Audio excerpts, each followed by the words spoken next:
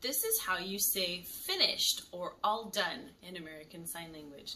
Put your hands up in front of you and shake it like you're brushing things off. All done. Are you all done? Did you finish your meal? All done. This video is